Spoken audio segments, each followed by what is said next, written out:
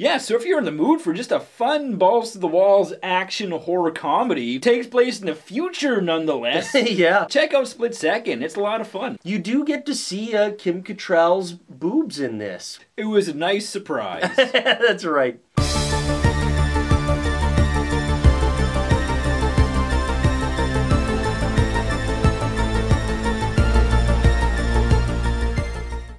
Welcome to another episode of Frightfully Forgotten Horror Movies. But before we get started, what are we drinking?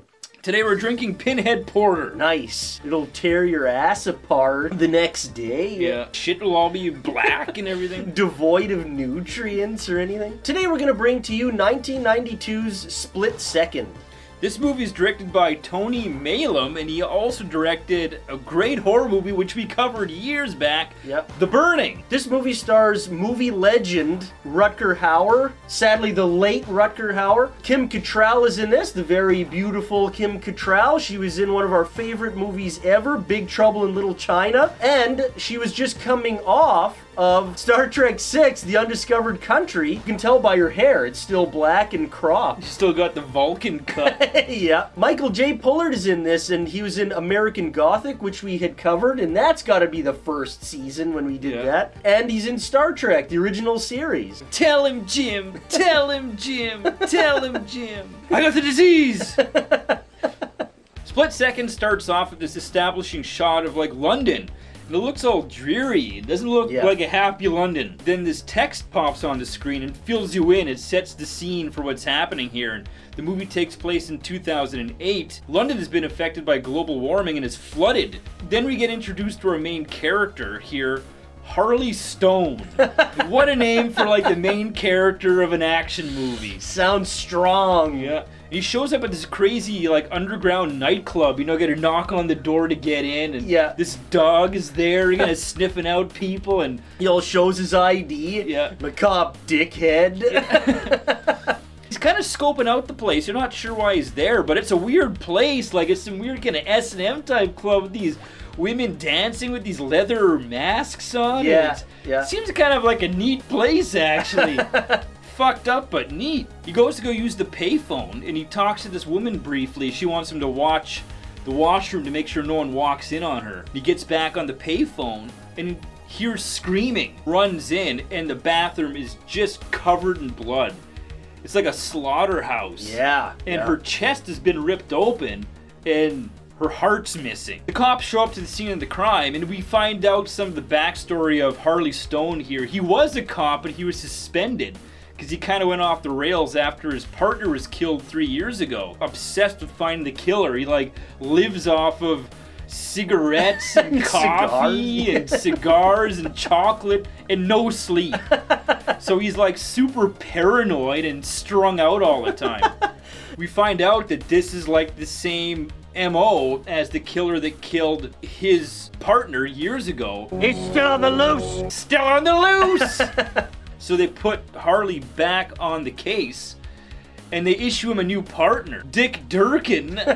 so like those two names together, Harley Stone and Dick Durkin, like And he's like the polar opposite. Well-educated person who's got all these diplomas and shit and yeah, wears suits Yeah. and all that. Put in charge of making sure Harley doesn't go off the rails here. They're at the precinct and this cooler gets delivered. Attention to Harley Stone. And they're all kind of joking, ah, you're getting the beer delivered at work, you got a drink on the job. And Harley has not touched a drink in years. And they Yeah. pop open the cooler and it's the heart that was missing from the woman in the cooler with a big chunk taken out of it with teeth marks. Later, they get the impression back from the teeth marks left in the heart and they show it to Harley, and it's these big fucking fangs. Yeah. they actually get called to another murder that's happened. And again, it's just a fucking bloodbath. There's blood on the ceiling everywhere. Blood on the ceiling looks like an occult symbol of some kind. Dick actually starts to dig. Dick does some digging. finds some information out about this symbol and it turns out to be a satanist kind of symbol. Harley actually takes a bit of a trip to the uh, necropolis where his partner is buried and he ends up running into his partner's wife. We learn that they have a little something going on and they go back to Harley's apartment just in shambles. like there's all these things falling off the walls. It's all messy. There's all these birds flying Yeah, around. pigeons everywhere. He kind of falls asleep on the couch and he gets flashbacks to his partner dying. He wakes up and then he like goes to drink all his coffee with all these butts in it and everything and he all sips it. Cold coffee. So Harley leaves the apartment to get back to work, and he actually hears screams, runs in, knocks the door down, and he sees something shoot out for, for just a split second. And he has a shootout with this whatever it is. It ends up biting Michelle on the shoulder, finds a woman dead in the bathtub, and her heart's ripped out again. Dick Durkin has been attacked by the monster, and the fucking monster just carves the shit out of him. Like, carves his chest all up with all these patterns and all these fucking symbols and everything. And it turns out to be a map that is pointing to a specific spot in the city. Harley and Dick actually go to this spot in the city, and it turns out to be the entrance way to the sewers to go and try and hunt this monster down. The London Underground. Yeah, and that's where we're going to end the story. So if you want to see what happens with Harley and Dick and whoever or whatever they're trying to hunt down, keep watching 1992 Split Second. But why should you watch Split Second? And we're gonna tell you right now. This movie is just tons and tons of fun. And it's riding that late 80s, early 90s wave of the buddy cop movie, right? Tango and Cash, Lethal Weapon, of course, Dead Heat. This is closer to Dead Heat as far as being like a horror comedy. And this has more sci fi elements too, so it's like a sci fi horror comedy, and it, Yeah. it does a really good job of balancing all three of those. Rutger Hauer as Harley Stone here.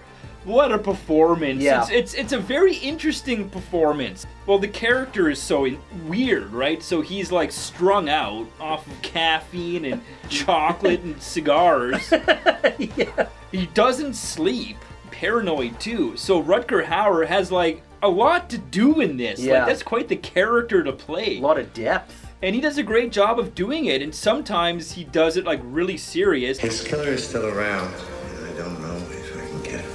Him. And then sometimes when he needs to camp it up for the comedy, he does.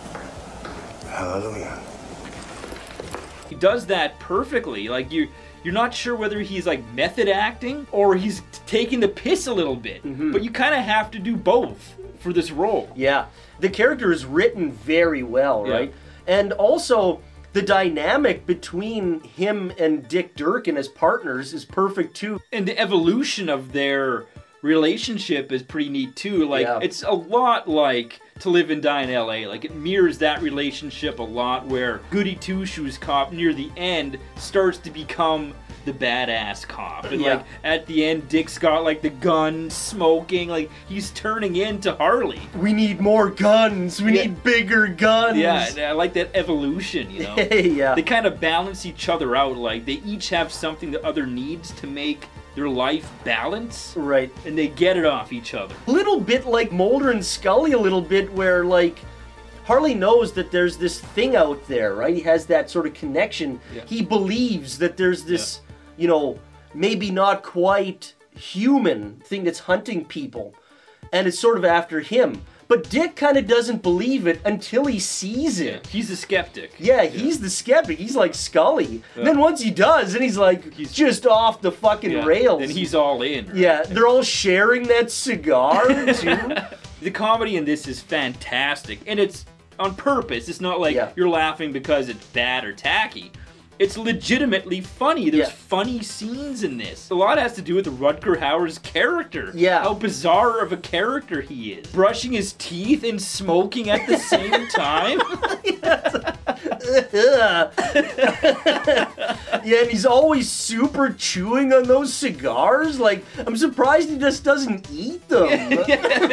He's like super intense all the time. Like he's always like manhandling everyone, like grabbing them by the lapels and throwing Yeah. them against the wall all the time. Each other. Why?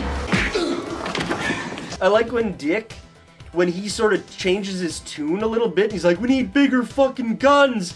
And then uh, Harley pulls the cigar out and he puts the cigar into Dick's mouth the wrong way. you hear the sizzle? Yeah. like stuff like that, you know, like Harley falls asleep in his apartment, he wakes up and there's a pigeon on his head. Yeah, like come on. like little stuff like that. excellent job of walking that line between comedy and horror, right? When it needs to get scary or tense, it does a perfect job at doing that. You get introduced to all these crime scenes and they're a bloodbath and it really like you change gears right away, right? Yeah. Nothing steps on itself, which is fantastic. The killer itself is like a big mystery because you don't you never see it. No, you only see it for a split second. Yeah, you see the impression of the teeth that it left. The rest is left up to your imagination just by what's left of the victims at the crime scene. yeah. So they do a really good job of building the mystery of the killer and making it seem like super deadly without ever seeing it. Yeah, That's right, yeah. They- Without laying eyes on the thing. they build the myth Yeah. through the movie, right? Until the end where you do finally see the thing and it, it is like a it's not human and it like it looks great. Like the Yeah. design of that thing is fantastic. As they use the POV shots to follow the monster, you hear him breathing. Yep. It's like it makes it just so much more ominous. Like, what is that? Then at the end, when you see it, you're still like, "What is that?" Yeah, like, you don't you know. don't know what this thing is. Like, it does. It looks kind of human, but not really human, and you never really find out exactly what it is. Like, they still kind of leave it a mystery till the end. Like, they got ideas what it might be. Yeah, Something to do with Satan, you know? Like, there's that great line, like, Satan's in deep shit. so you get the sense that it is evil and demonic, but you're not exactly sure what it is. I wouldn't say this thing thinks it's Satan. I'd say it is Satan.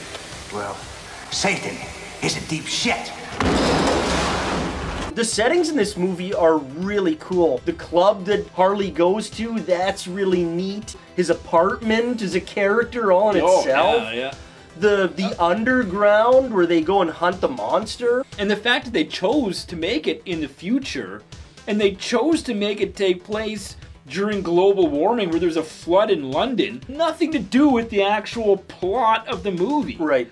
But it makes for a very unique setting that, like, it sets this movie apart from any other movie just because that's what they chose to do with the setting. Yeah, you couldn't make the the connection that okay, well, if global warming's happening, maybe something has evolved Yeah. down in the sewers or whatever, Yeah. right? So this thing, it's plausible that it exists. And with Harley's apartment too, like it really represents what's in his head because it's such a mess and it's scattered and there's shit every and it's almost unlivable. Yeah. and that totally reflects that character. I love when settings reflect what the character's about. And he's got these Harley Davidson posters everywhere. His name is Harley. yeah, Yeah, he's all obsessed with Harley. Yeah. Everything about this movie screams atmosphere and tone, right? Yeah. They do an excellent job. Again, it's they walk that perfect line of horror and comedy. The tone of this movie is the perfect horror side of it. And the showdown at the end of the movie with the monster is great. It's Yeah. like it takes place in the underground in like these abandoned